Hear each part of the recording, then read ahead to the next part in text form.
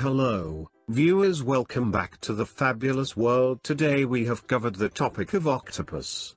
So let's get started. Octopuses have three hearts. Around 300 species of octopuses are recognized. A baby octopus is about the size of a flea when it is born. The oldest octopus fossil is 296 million years old. Octopus wrestling was a popular sport in the 1960s. A diver would fight an octopus in shallow water and drag it to the surface. Octopuses are eaten alive in Korea.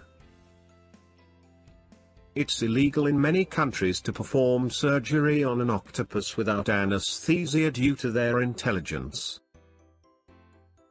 An octopus doesn't have eight arms but six arms and two legs.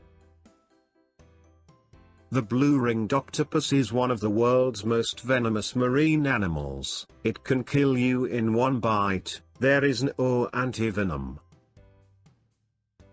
Despite their walnut-sized brain, octopuses are highly intelligent, possibly more than all of the invertebrates. An octopus will eat its own arms if it gets really hungry. Instead of mating, female octopuses will sometimes strangle males and eat them.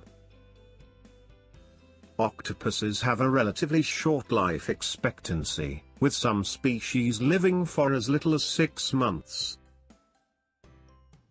The mimic octopus can impersonate up to 15 marine species, including sea snakes, stingrays, lionfishes, and jellyfishes. Octopuses move with a simple elegance, but they have no rhythm, unlike most animals. The largest octopus ever documented, had a mass of 71 kilograms. Large octopuses have been known to catch and kill some species of sharks. Large octopuses have been known to catch and kill some species of sharks. The octopus suction cups are equipped with chemoreceptors so it can taste what it is touching. Octopus blood is blue.